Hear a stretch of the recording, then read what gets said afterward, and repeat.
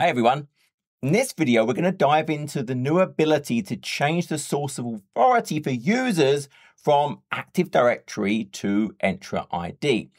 Now, I recently did a video on the ability to change the source of authority for groups. And this is really the next phase of that as organizations really are shifting where their identity source of truth is from that on-prem Active Directory to the cloud-based Entra ID. And this is appealing to customers because, well, honestly, most services and resources are now cloud-based. You get cloud-based authentication protocols like OpenID Connect, OAuth, SAML, and I get all of the capabilities of the cloud around governance and security and lifecycle management and much, much more. And there's a lot less reliance on things like Kerberos. Now, if we think about most organizations today, even if we start to shift where the services are, if we think of our users, so we have our Active Directory, domain services, I'm just going to write AD, and this is where most of our users originate. They were created or are created in Active Directory. And then what we then have is our Entra ID tenant. This is our Entra ID. And what we do is we synchronize those users up. So there's various technologies, but for example, we use things like the, there's, there's really two. So there's Entra Connect Sync, which is the original there's also now an Entra Cloud Sync, and it really shifts where the engine lives. So with Entra Connect Sync, the engine lives on-prem. With Entra Cloud Sync, the engine lives in the cloud, and we just get this very lightweight component running on the domain controllers. And notice the flow, the direction that this synchronization is. And what this will do is well now this user, Barry, we'll call them, also has their object up here in Entra ID. But the reality is the Entra ID user, that object, has a very limited ability to be edited in Entra ID because there are certain attributes on this object that tell it, well, the source of authority for that object, so the source of authority is down here, it's Active Directory. There's a couple of different attributes. The main one is there's this attribute called is cloud managed, i.e., it originates in the cloud, its source of authority is the cloud. And that's going to be set to false. Uh, there's also an attribute uh, on premises sync enabled, which would be set to true. And so any changes we want to make have to be made in Active Directory and then synchronize those up to the cloud. We see this. If I jump over for a second to the portal, if I look at good old Barry Allen, well, it tells us, firstly, that yes, the on premises synchronization is turned on for this user. And then if I actually go and try and edit Barry, it's all grayed out. I, I can't change things. It's all grayed because the source of authority for this user is based in Active Directory. And we can even see that if I go to Graph and I run this query, I'm asking it for, hey, is it cloud managed? What we see the answer is false. Because it's not, it's, it's not managed in the cloud, it's being managed from that Active Directory. So we have a super limited ability to edit those objects. We have a super limited ability to take advantage of things like lifecycle management capabilities in the cloud. If we have a HR system, so imagine I have a a cloud based HR that is actually the source of truth for our employees, well, for it to populate, what it actually has to do is go and send the information to Active Directory, which then synchronizes up into Entra ID. Now, if our company is now at the state that honestly, most of the, or maybe all of the user accounts are really interacting with cloud resources. Maybe there's a few limited AD based capabilities down there. Then shifting the user's source of authority to the cloud becomes super appealing. I don't want the user maybe in Active Directory at all. And I get things now like the lifecycle management capabilities. I get the Entra governance capabilities. My HR could now provision directly to Entra ID. And if we think about zero trust and security, well, if I'm not really using this object down here anymore, why do I want the potential attack surface of it? I want the minimum possible surface. So if I am not using really this Active Directory account, maybe I just get rid of it. One important thing to understand though, is when we go ahead and we're going to make this change, one thing that we do not get, there is no user write back today at time of recording. So this flow is that way. There is no flow today this way. So if I do choose to make this change and I start changing the attributes, whatever, those changes will not go and reflect in this user. They basically become completely cut off from one another. Now, there are a few prerequisites to flip a user. They are fully documented, and I'll link in the documentation to go and go through those. But there would be things like, hey, the HR system would need to start directly provisioning to Entra ID if you have certain automations uh, that go and bulk change things, maybe move the users, if you are keeping them in AD, to a different OU so you don't start making these real changes. And the mailboxes in the cloud, well, you can't have Exchange hybrid mode. I need to have moved all the mailboxes into the Exchange online. And if you are keeping, let's let's take this scenario. If you are keeping Kerberos based resources. So imagine it's a, a file share. So I have some Kerberos resource. It doesn't mean I can't access it anymore. What's going to happen is my user, Barry, they have to have password-less authentication for this, what I'm about to show you to work.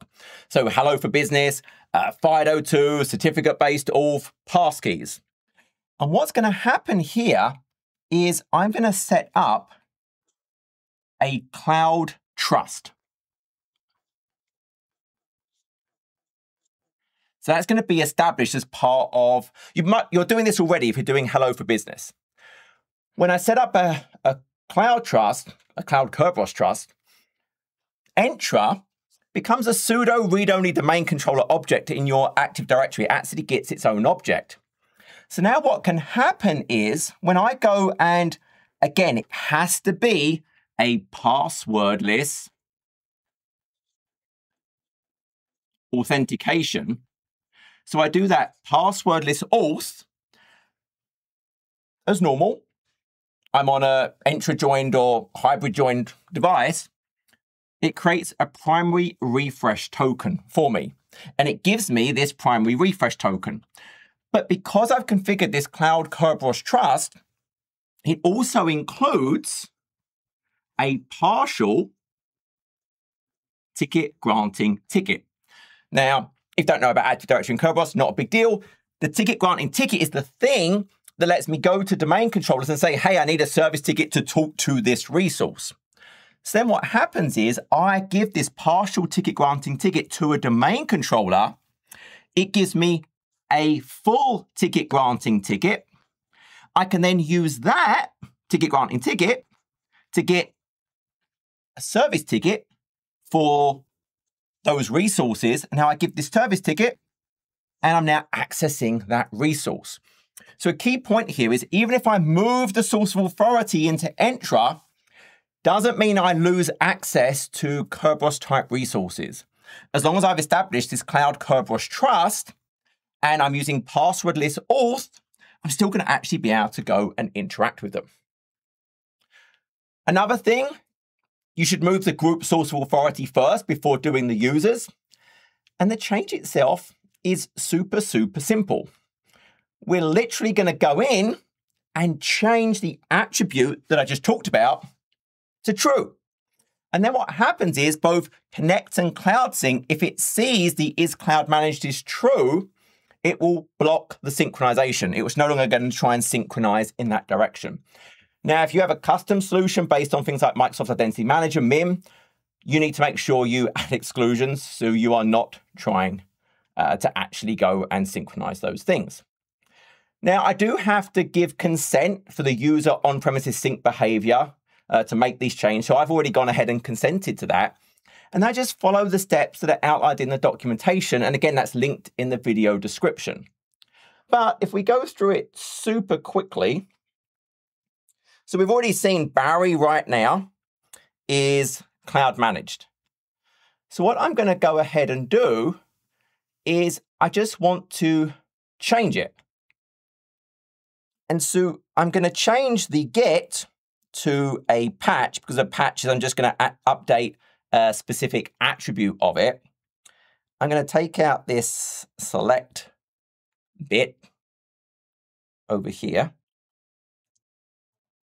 And then I just need to put in the actual patch statement, which is literally telling it, hey, it's cloud managed is now going to be true. So in the request body, I'm just changing it from false to true. And if I run it, it's green. There was no content, 204, done. And so now if I go back again, and let's do the get on this. I'm going to take out the body. So now we see the is cloud managed is true. Now, what should also happen now at this point is if I go back over to Barry, let's just refresh to be on the safe side. If I now do my, well, actually, let's go back for a second to all users. So firstly, Barry now shows as no. It is not on-premise synced. So that has been broken. But additionally now, edit properties, they're not gray anymore because it is now the source of authority has been changed. That's the key thing we have done now. So, and again, just to be super, super clear, I'm doing this one at a time in the portal. You would write a script to do this at a larger scale. So what we have now done is this is now true. For the user we've moved, the source of authority is now up here. But the key point also is this user will not sync anymore from AD. The changes will not sync. But also, remember, there is no write back. So it is not going to go and update them there either. I should also be able to go and look in the logs. So if we jump down, look at our monitoring and our audit logs, and if I change the activity to change the source of authority, there I can see it. So I can see, I just did this. There is my change of the source of authority. So you can always go back and actually track these. So at this point, you have changed the source of authority. You now have a choice to make. So the choices could be, well, I don't need this anymore. I do not need the user. And that's probably going to be the case in most scenarios. So maybe now I would disable it first, make sure you don't just delete straight away. Disable first, make sure things are okay but then you go and delete it. Alternatively, as kind of a bonus scenario, you keep it because you're doing this scenario. Because you're going to use the passwordless auth passkeys, um, certificate-based auth, authenticator app, uh, FIDO2, Hello for Business, so I can still access both on-premises resources that use Kerberos because I've configured that cloud Kerberos Trust, also, I could access things like Azure Files, Azure Virtual Desktop, any web app that uses App Proxy. I'm using Entra Private Access, that uses Kerberos behind the scenes. RDP, SMB file shares, web apps that use Kerberos. I just need to ensure that any hybrid joined device is using passwordless. I'll be able to use those things. But remember, remember, remember, there is no write back. that sync is not going to do anything anymore. Changes I make here will not get reflected. I would now do things like ensuring HR now provisions directly into Entra ID if it previously talked to Active Directory. The docs are great. I do recommend you go through them. Um, again, they're linked in the description below. It's a super simple change, but there are pretty massive implications. So take your time to understand, to plan this out, to test it. Um, but but that is it. I mean, it really is, as most organizations are shifting where their identity true source of truth is, it's not AD anymore. It is Entra. And I want to take advantage of all of the fantastic capabilities. I need to start shifting that source of authority from my users, my groups, um, to Entra. So now with users, uh, I can go ahead and do this. So as I hope this was useful. Till next video, take care.